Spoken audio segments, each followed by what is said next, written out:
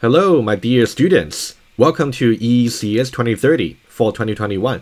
I'm Jackie, your instructor. In this tutorial series, I would like to review the Object-Oriented Programming Basics, or OOP, that you learned from your first year, either from EECS 1021 if you are from the engineering side, or EECS 1022 if you are from the CS side. Either way, I would like to bring you up to speed so that it will be smoother for you to learn about the advanced concept for the subsequent weeks. In this first video, I would like to point to you uh, all the resources, uh, especially the links, so that you can judge which ones might be useful for your learning.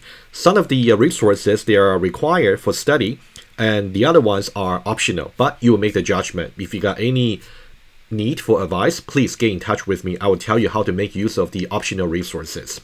Let me now go over the links one by one quickly, and then in the next video, we'll get started with our review by developing some complete uh, Java projects on Eclipse, which is the required tool for this course. Let me start by pointing out to you uh, this link here for EECS 2030 for 21 lecture site. This is for public access, so you don't need any login, for example, to the e-class. It's just uh, under uh, my departmental website. You can always access that even after the course has finished. So the way to go there is simply just, you can def definitely go to the entire link if you wish, or you can simply just go to my homepage, www.ecs.yorku.ca, tilde Jackie. So, and then you can explore in the following way. Let me show to you. This is my homepage, and then you can go under lectures, and then you can see ECS 2030 under 2021 fall. Click on that, and here this page contains all the links that you will need uh, for the mandatory and optional resources. Let's now go over one by one. The first one I would like to mention is optional, and this will be my lecture recording from uh, ECS 1022, the introduction to object-oriented programming back in winter 2021. So let me show you the, uh, the page quickly and how you can make use of it. You can see under 2030, you can simply go to the background study and the lectures, right? So here I got this uh, background slides for you, either for elementary programming or for if conditionals or for loops. If you find it necessary, you can review them. Otherwise, you can skip them. And if there's any part in the slides you don't really find the explanation or the uh, details uh, making sense, you can feel free to actually click on this ECS 1022 Winter 2021 uh, lecture site. If you click on that, you will see here this uh, is the weekly breakdown for the lecture. You can simply find the relevant part for explanation by reviewing the recordings. Or you can simply get in touch with me. Either way will work for me. Okay, let me go back. And the second one is actually required. So that will be the review slides on OOP. So the slides which I will cross-reference throughout this tutorial series will be this slide over here about classes and objects. This one has a huge overlap with the uh, classes and objects uh, lecture I spoke about back in ECS uh, 1022. So I thought it would be a, a perfect resource for you to, uh, for us to review. So I'm just go I'm not going to go into details for uh, every slide, but rather I will make reference to which slides you should really study. And then I will go ahead in the tutorial videos to further develop the projects. So you can actually see both the uh, more like a theory on the slides and also practice as you type with me in the Eclipse. So that would be uh, kind of the plan I'm having in my mind. So how can you get the slides?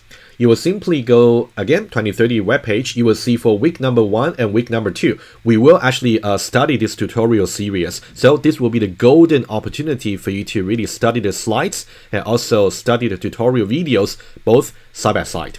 And this is where you can download the slide. You can see lecture one and here okay? There might be some updates i might make uh, later but in that case you will just re-download the slides okay? So that's the slides and the next one will be two written notes that are also required. If you actually took uh, 1022 with me uh, back in the winter 2021, you have already seen these two notes. However, if you haven't, that's okay. You're welcome to get in touch with me if you got any uh, cl uh, clarification uh, clarifications needed uh, for these two written notes. But let me point to you.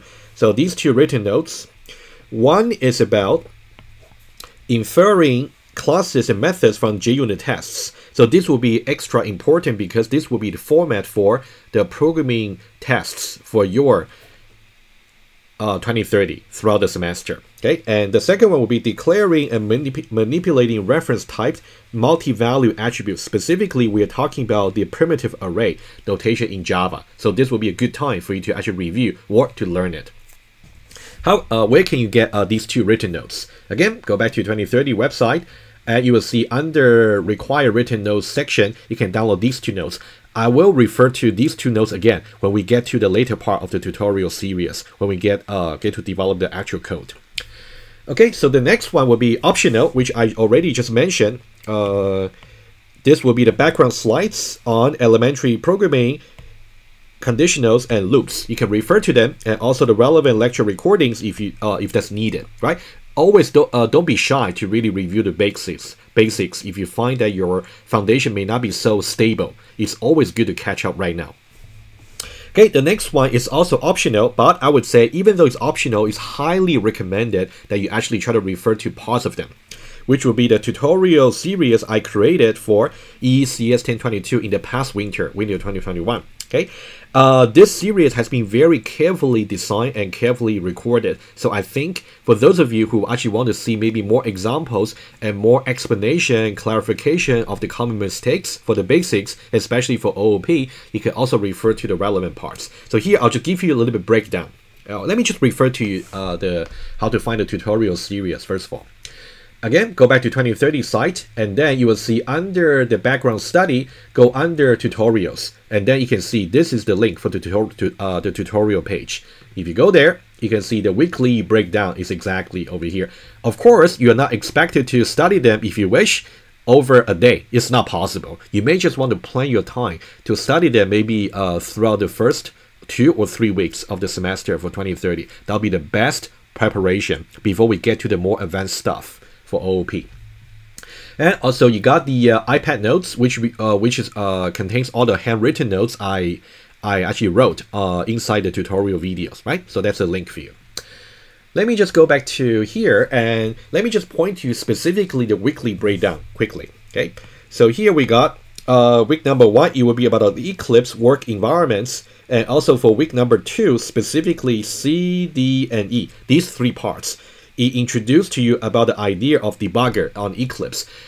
I wouldn't uh, really uh, review the uh, basic details of debugger in the current tutorial series. I will I will still again show you how to use it. However, if you really want to review about the basics of debugger, for example, what does it really mean to be step over, and what does it really mean to say step into, and also what does it really mean to say step out. And these basics were actually explained uh, thoroughly in the uh, these three parts. So I would recommend if you haven't used any debugger before in your first year, please uh, review them. That'll be beneficial to you. And then you got other weeks, which will be uh, week uh, conditionals, loops and arrays, OOP, especially 6, 7, and 8, and also 2D array, and also uh, Java API for array list and hash table. So these concepts might be used later in the uh, 2030 uh, later weeks. All right. Finally, I would like to point to you this another optional resources is which is for uh, good practice uh, software management using GitHub. So you can also refer to its a tutorial. This is not required for 2030, but I highly recommend you actually try it. If you got any issue of setting up the GitHub uh, repository for storing your work, you can get in touch with me. I'll try to help you. But it's really important for you to remember whatever work you store for 2030, especially for your laboratory exercises, which are meant to be individual work, you cannot make them public. It's considered as a violating the academic honesty policy. So please make sure you use a private repository to store all your work for 2030. So where can you find the uh, resources for GitHub? Again, go back to 2030 uh, website and then you can see the up uh, managing your software projects using GitHub. If you click on that, that is uh, some YouTube uh, playlist over here that you can study for. Okay, you can also uh, set it up. I think uh, it's really a good experience for you. Okay, so that's about all the resources you can make use of. Uh, the ones I highlighted in green are the optional ones. And the ones I highlighted in pink over here are the uh, mandatory ones. You definitely have to study them. Otherwise, you would get lost very easily for the uh, for the course. And this orange one, even though it's optional, but I highly recommend you at least try to find the relevant part that may be applicable to you for your learning. All right. To conclude this uh, current video, I would like to give you some tips about studying this uh, tutorial series. Now that you're gonna uh, you're going to dedicate some time uh, in the first two weeks, I would suggest you follow the following principle. So let's say number one, you have to type with me because I'm going to type from scratch, creating everything from scratch in the Eclipse. You want to type with me and make sure I understand almost every single detail I try to explain to you.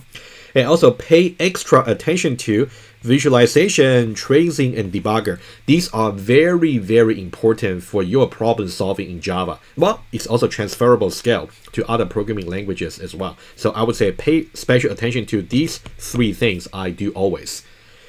And if you really find that you, you need to uh, think about the details I explained in the video, feel free to pause. It might take a little bit more time than if you continuously uh, just watch the video, but I think it's worth uh, the pause for sure.